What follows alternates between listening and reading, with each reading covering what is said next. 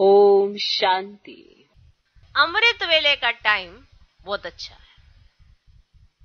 क्योंकि सारे दिन में तो और बहुत सारे कार्य होते हैं, भूल जाते हो।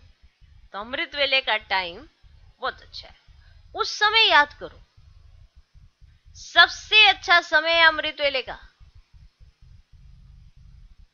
जबकि दोनों फ्री है। पुरुष भी फ्री है, माता भी फ्री है।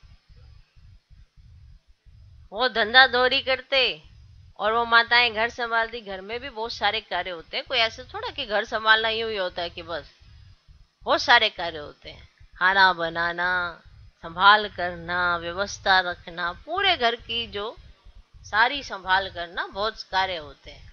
और पुरुष को बाहर धंधा दौरी का भी कार्य होता है, बहुत कार्य होते हैं। दोनों के पास बहुत कार्य है। तो अमृत वेले का समय अच्छा है ना? दोनों फ्री है उस समय। यूँ तो शाम को भी समय मिलता है, यूँ तो शाम को भी समय मिलता है, परंतु समझो, उस समय कोई थके रहते हैं। अच्छा भला आराम करो।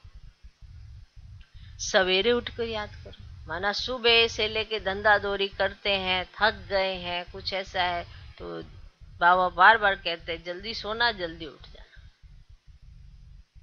तो आराम करो।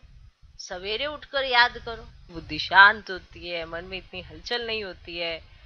रात को विश्राम करके बिल्कुल हल्की होती है आत्मा। और सुबह सुबह उठेगी, परमात्मा याद करेगी तो अच्छी याद आएगी और वातावरण का सहयोग होता है। सभी शांत हो चुके होते हैं, इतना ज़्यादा उत्तेजित नहीं। अभी तो देखो, अभी भी सारे सोए पड़े हैं।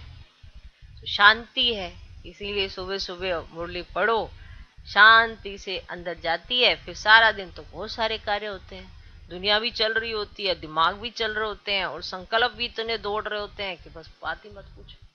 तो जब यही नहीं पता करना क्यों है तो करेंगे ही क्यों? समझा?